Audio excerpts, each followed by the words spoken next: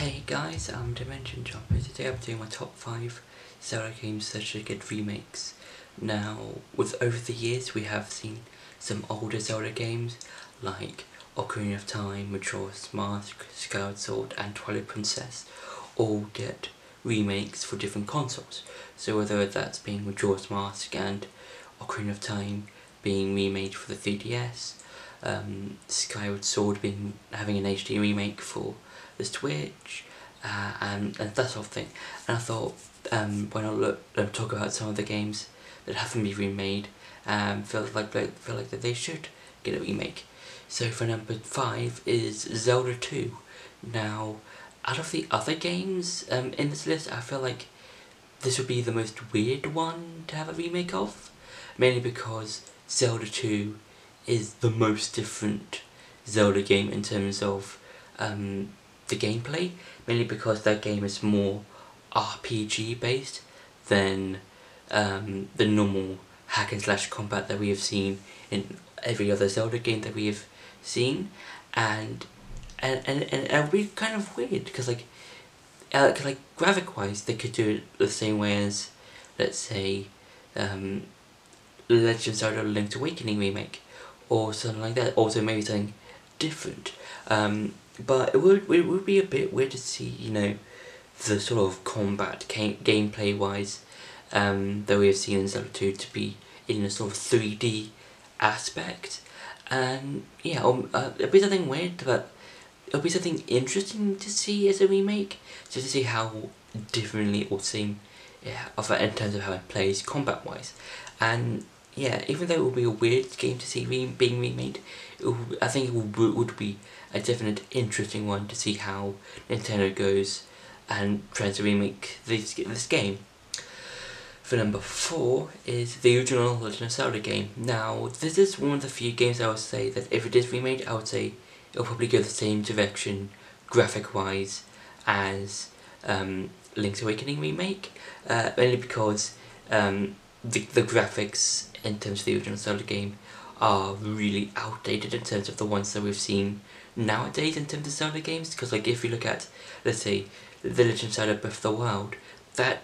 graphically is so much different from the original Zelda game. And or maybe they could do a similar way to graphic wise in terms of Breath of the Wild maybe because they kind of did that in, sort in a sort of demo.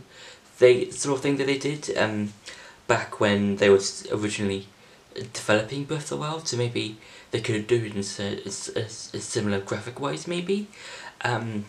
but yeah, that'd be really fun to see how the original Zelda game uh, would look in with new graphics and a new way to do um, combat and fight enemies, and it would be cool to see old enemies um, uh, just come just come to life in three D. Uh, and we kind of got a bit of that bit of that with like some of the other Zelda games like um, Ocarina of Time, uh, Breath of the Wild, kind of, um, and also with um, Hyrule Warriors, where one of the bosses from the very first Zelda game came as a boss. I think two of them from the first Zelda game came as a boss in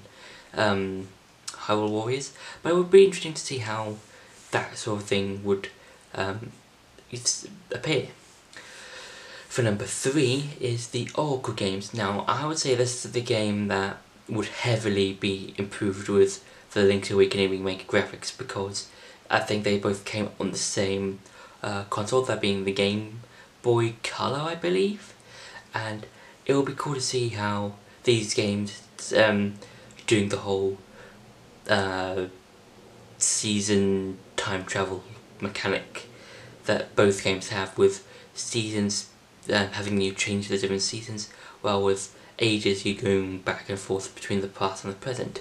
And it would be cool to see something like this, like just seeing how like how these two these sprites in the game would become a sort of like you know a sort of 3D 3D esque kind of 2D sort of style in a sense because like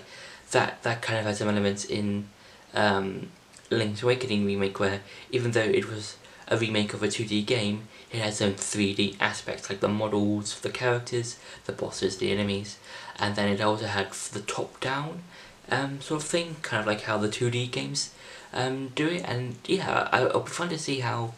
we can see use like you can see the different kinds of combat and puzzles because the Oracle games are well known for having one of them being combat wise, the other one being um, wise, and it would be interesting to see how this game handles these two main elements and as well as the other things that are shown in the game. For number two is the Minish Cap. Now, with the Minish Cap, the design wise, it kind of looks like, I, I think, uh, if we put Toon Link into a 2D game, and it'd be cool to see the Minish Cap go full on um, cel shaded. It, could go the way of the Wind Waker HD, let's say, and instead of just having, you know, a 2D